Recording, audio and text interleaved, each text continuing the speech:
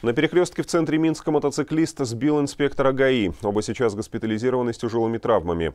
По словам очевидцев, управлял мотоциклом 31-летний житель Гомельской области. Он двигался с явным превышением скорости и выезжал для обгона на встречную полосу.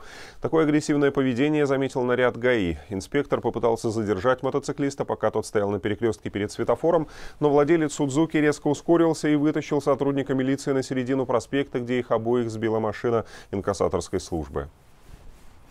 Видел, как э, летит э, мотоциклист на высокой скорости. Вот. э, Мотоциклист сбил его и пытался ну, уехать с места происшествия. Вот он Это был регулировщик, он пытался остановить один человек, который превысил очень высокую скорость. То Он пытался даже как бы поднять свой мотоцикл, показать на заднее колесо, показать мастер-класс. Им. Он сначала встал, но потом уже все. Приехала скорая, начали вот дружно вот молодцы, конечно, они начали дружно капать и все, и как бы откачивать человека. Я думаю, они его откачают, и там помогут в больнице, он выживет. В настоящий момент госпитализированы как сотрудник милиции, так и водитель мотоцикла. А, Об их состоянии говорить пока рано, э, медицинские специалисты занимаются.